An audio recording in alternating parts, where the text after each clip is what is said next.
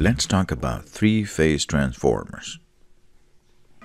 We begin with one transformer, this one. Let's give it a name. Let's call that transformer X, and the primary will be X1, and the secondary will be X2. And let's add two more transformers identical to that one, this one and this other one, and they have names. Y with the primary Y1 and the secondary Y2, and Z with primary Z1 and secondary Z2. Each one of those single-phase transformers has a ratio of 200 to 100 volts. Let's connect the primaries in a Y, in a star, like this. And then we feed uh, the three transformers from a three-phase systems like A1, B1, and CB1.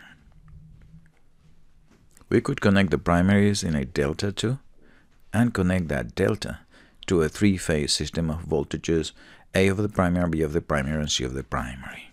Now, let me move that a little bit to the right to make room for a source.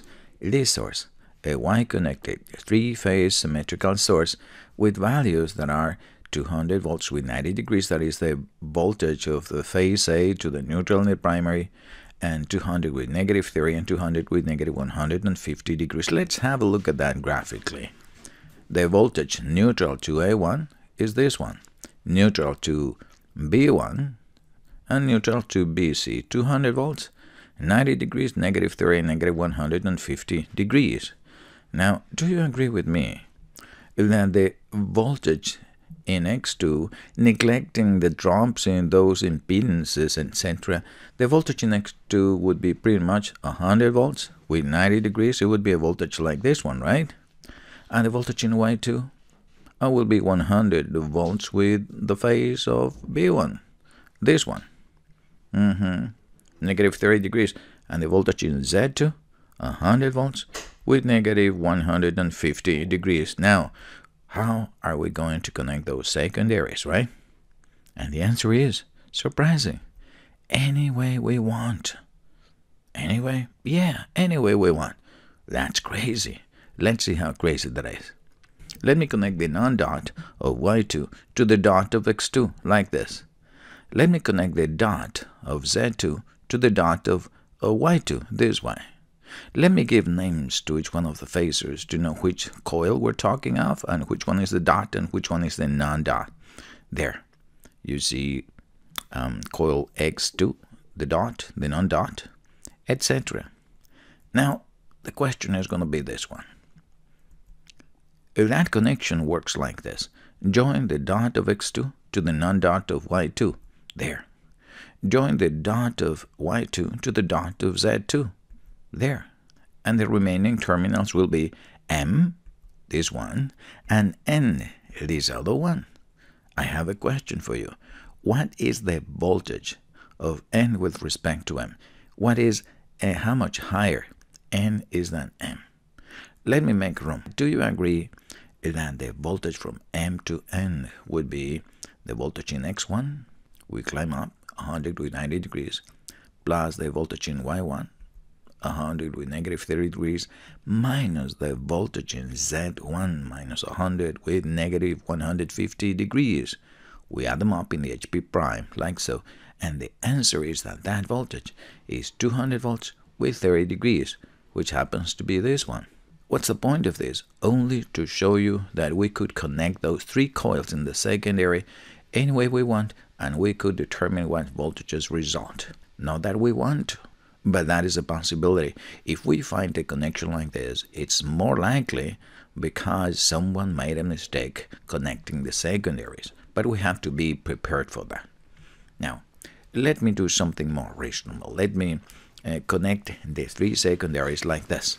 X2, Y2, and Z2. I join the non-dots of the three coils this way. So we have a Y in the primary, a Y in the secondary. This is the neutral of the secondary. This is phase A of the secondary, phase B, and phase C. You say, wait a minute. How do you know that this is phase A of the secondary and not this one or that one? It is a convention. The convention is that we um, assign phase 2 of the secondary to a coil of the same transformer X that is connected to phase A of the primary. That leaves that one. That is X2, that is A2. So this is a connection that is Y in the primary, Y in the secondary, and there is no phase shift in the voltage of A1 to neutral to A2 to neutral. We call that a YY0 connection. The uppercase is the primary connection, the lowercase the secondary, and 0 is the phase shift between neutral to A1 and neutral to A2. Is that all? No. Look at this other possibility. Check it out. I take the same three coils and connect them like this. X2, Y2, and Z2. This time I join them by the dots, this way. Which one is A2? A2 is a terminal connected to X2. Has to be the one on the bottom, right? This is A2, and then the others two follow because it's a positive sequence, three-phase system. What kind of connection is this? You say it's a Y in the primary, Y in the secondary, so it's a YY. But this time, there is a phase shift between N to A1 in the primary and N to A2 in the secondary. How are we going to describe them? Well, this is called a YY6. The YY we understand. What is a 6? Industry uses this standard, a clock. In that clock, by convention, always phase A of the primary will be at 12 o'clock. There. And then, where is the voltage of A2 with respect to neutral? This one, at 6 o'clock. If you're thinking, wait a minute, wait a minute, that voltage there is plus 90 degrees, not negative 90 degrees. No, what is 90 degrees is the voltage in X2, but the voltage of A2 with respect to N is the negative of the voltage of X2. Ergo, it's negative 90 degrees. So what is the phase shift between that voltage and this one? 6 hours, 6 times 30 degrees, 180 degrees. But we write that 6 hours, that's a YY6. Conventions of the clock. Always the primary A1, B1, and C1 will be at 12, at 4, and at 8 o'clock, always in any connection. That's a standard. Let's say that the primaries are connected not in a Y, but in a delta, this way. Coil X1 of transformer X between phases B and A of the primary, and coil Y1 of the second transformer, and coil Z1 of the third transformer in a delta, all right, connected to the primary. Remember, the voltages X2, Y2, and Z2 must be in phase with those, must be parallel. So we have this possibility. We have this, who is that one? Oh, it's parallel to X1, that has to be X2. That's right, that is X2. And then we have Y2 and Z2. Where is the phase A of the secondary in this case? In X2, must be here at 5 o'clock. So this system is a Y is a delta in the primary, y in the secondary, and what is a group? It's a 5. That is a dy5. Hmm, another possibility. Sure. Let's say same as before. Remember the convention. Phase A of the primary is always at 12, B is at 4, and C is at 8. Again, we connect the primaries X1, Y1, and Z1 in a delta. But this time, X2 will connect it like so. That is X2 and then this would be Y2 and Z2. Where is A2? What is the phase A of the secondary? Oh, connected to X2 to the secondary of transformer X must be at 11. What connection is this one? Is a delta in the primary, Y in the secondary, it's a group 11. That is a DY11. And you must be thinking, how many possibilities have we got? Quite a few.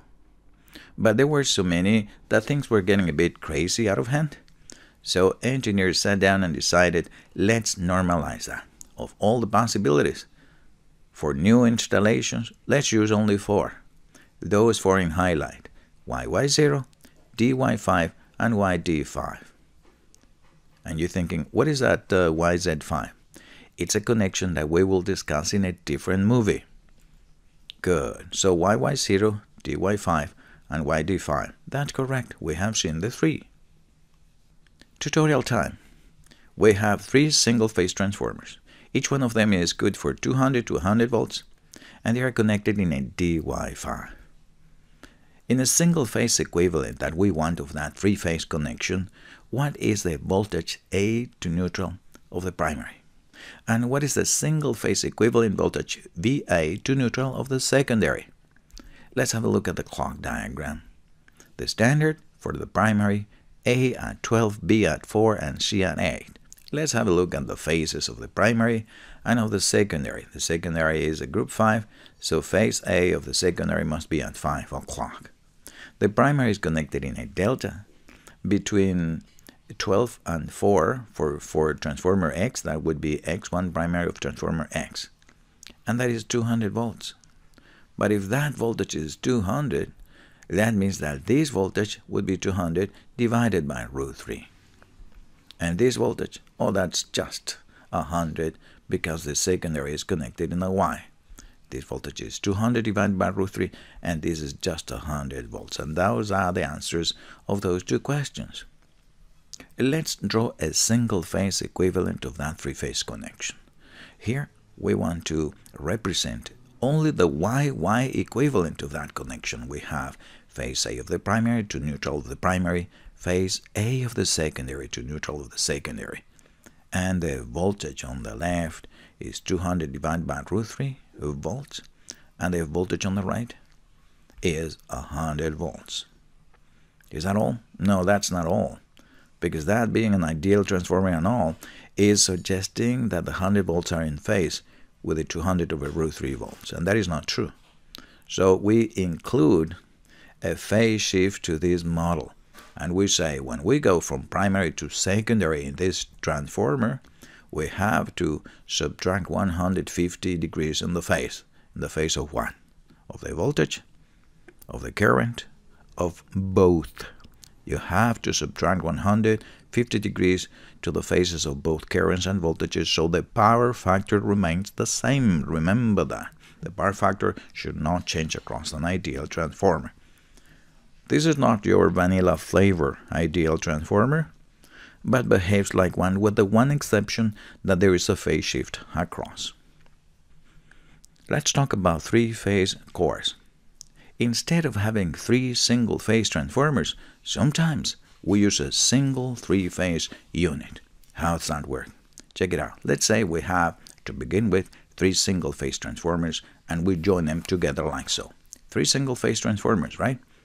and we're going to wire the primer and the secondary of each one on the outermost column, like this one. That is primary or phase A of the primary, and the secondary is a bit um, below that one, or maybe around that coil there, on the same column. And that creates a flux due to phase A, and then we have the coils of um, the primary of phase B and the flux created by by that current, and the coils of phase C and the flux created by that current. That is right. The column in the center, you agree with me, is three times the iron as one of the columns on the outside, right? Because we are joining in the hip three single phase transformers. Yeah, that's right. So I have no advantages. Not so far. But I have a question. Do you agree that in a three phase system, Show the fluxes in phases A, B, and C are out of phase by 120 degrees. Now you tell me, what is the sum of the three? What is the total flux in the column in the center? It is zero, right? So how about we remove it like so? We would be saving a lot of iron, a lot of weight, a lot of money. But that shape is kind of awkward. Let's push the far column on the back into the center position and align them, which is uh, easier to manufacture like this, right? That works just fine as long as the currents are balanced, right? Now let's talk about how do we do uh, the short circuit and open circuit test of a three-phase transformer. These are not three single-phase transformers. It is a single three-phase unit and we want to perform a three-phase um, short circuit test. Look, this is the way it works. Let's assume that it's connected in the Y, the primary, that side. The secondary is connected in a delta. That's where we're going to put the source and the instruments, and we'll short the side on the left. Good. So here, shorting them. Because of the it's shorted, that is equivalent of shorting each one of the phases separately, right? Convince yourself that that is so. The instruments and the sources that power the short circuit test will be on the right. We will measure the line current of the short circuit test, the line to line voltage of the short circuit test, and the total three phase power absorbed by that transformer during the short circuit test. Look at it this way. On the left, Eh, that impedance of the coil on the left is in parallel with RC in parallel with JXM. And you know what happens? RC and JXM are gone. Now let's refer everybody to the right and simplify them in series. And this is what we get. What is that? That is a trio of impedances connected in delta. And the value will be the short circuit delta equivalent of the transformer's phases. Let's find a y equivalent. Sure, divide them by 3 and we get a y equivalent. And that's the one we will be using whenever we solve one phase of the three-phase system. And how, how do we compute that? Well, the line uh, um, current of the short circuit test is a, is a current, the short circuit current of that single phase, uh, Y equivalent. And the power, one third of the total three phase power. And the voltage, the line-to-line short circuit voltage measured divided by root 3. And with that, we use the same formulas, and we find our short circuit Y and X short circuit Y. I leave that to you, my students, to do the similar analysis for an open circuit test of a three-phase transformer. Now, some credits.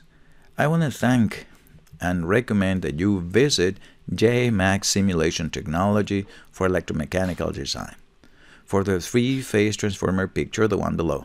They have a very good discussion of losses on three-phase transformers. Go visit them. The link is right there. And with that, my friends, I sign off for the night. Good night and have a very good night's sleep. See you on the next movie.